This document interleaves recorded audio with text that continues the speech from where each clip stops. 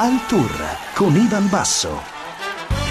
Appuntamento col Tour de France di Ivan Basso su Radio 24, un saluto da Dario Ricci. Oggi terza tappa del Tour volata a Redon vinta da Tyler Farrar. Ben ritrovato Ivan.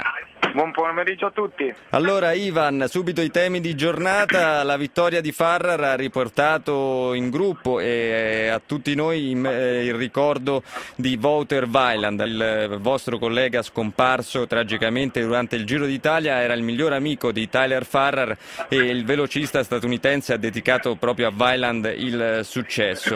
È un ricordo immagino ancora vivo in gruppo.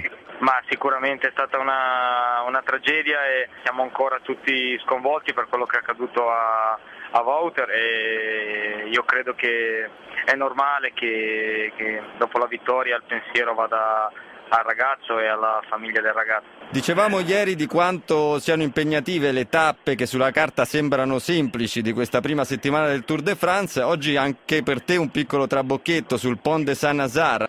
Ma c'è stata una caduta prima del ponte, ho dovuto mettere piede a terra quindi sono rimasto per 2-3 km nella seconda parte del gruppo, ma con i miei compagni ci siamo riportati subito davanti. Eravamo ancora lontani dall'arrivo, quindi non ero preoccupato.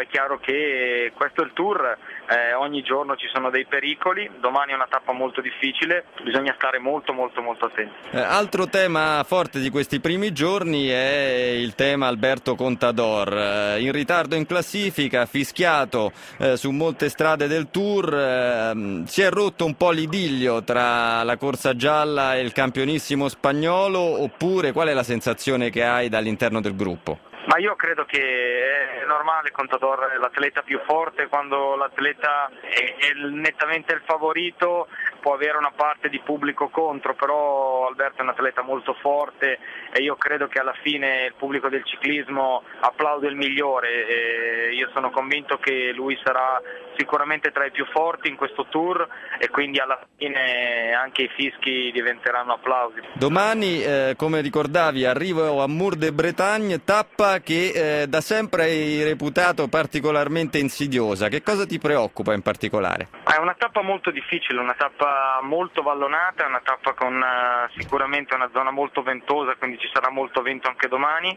E un arrivo non proprio adatto alle mie caratteristiche, sono uno strappo di due chilometri molto impegnativo, quindi è una giornata dove mi dovrò difendere. Sapevo di, di soffrire in questa prima settimana, resto comunque ottimista e fiducioso che nella seconda parte del tour potete vedere il miglior basso. E allora Ivan, ti aspettiamo sempre qui a Radio 24 domani sera dopo il GR24 delle 19 e ci racconterai un po' proprio questa tappa sul Mur de Bretagna. Va bene, buona serata a tutti.